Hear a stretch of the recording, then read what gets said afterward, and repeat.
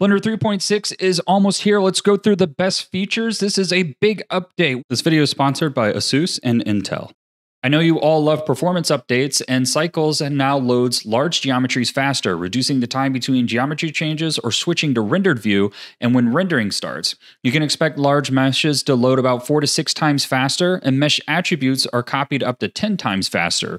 Point clouds loading around 9 times faster, and curves are loading up to 10 times faster. Viewport Compositor, an amazing feature added in the last update, is now getting a lot more broadened functionality with new node supports featuring some major changes, including nodes like convert color space, plane track deform, denoise, and much more.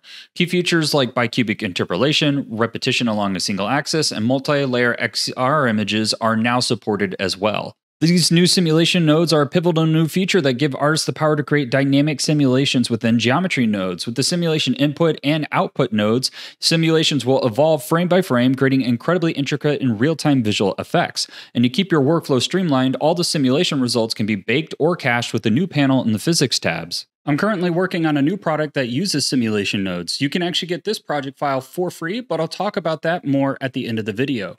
Next feature up, we have the new add-on, which is the VDM Brush Baker. And this innovative add-on is simplifies creating vector displacement brushes in sculpt mode. This powerful tool can inject more detail into your sculpting workflow by enhancing your efficiency and creativity. I've actually covered this in a previous tutorial, so check that out if you want to learn more. Additional performance updates are littered throughout this update, including modeling, UV editing, and geometry nodes. Let's dive into a bit of each section. With modeling, we've seen a major boost on faster conversion from edit meshes to object mode meshes, and especially with processes when dealing with multiple UV maps, we're talking 75%.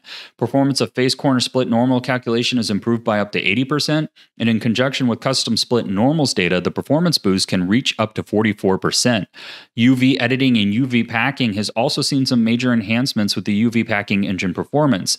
The layout's efficiency has increased with additional options for UV packing approximation shapes, and overlapping islands now stick together during UV packing. There's a new option to pack islands back into the original bounding box as well.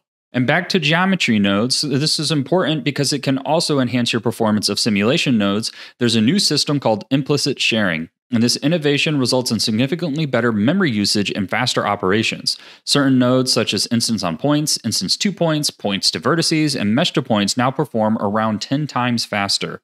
Minor update, but a useful thing is that the asset browser now has tooltips, which will now show full name and description of assets, enhancing your asset browsing experience. Now, under the viewport display of your rigs, you can actually change the relationship line to draw from either the tail or the head. Another small little quality of life update is you can now grow and shrink your selections in the weight paint mode with edit selected. You can also now frame from a selection up here with an operator. So hit frame selected channel and it will zoom in to pick the selected channel that you have over here. Very convenient for isolating graphs. 3.6 also bolsters GPU rendering with several improvements. AMD users will enjoy hardware ray tracing acceleration on Windows using HIP RT, and Intel users have similar accelerations with Embree 4.